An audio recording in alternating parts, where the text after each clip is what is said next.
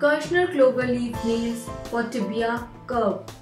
These nails are used to treat simple transverse, short oblique or comminuted diaphyseal fractures of tibia.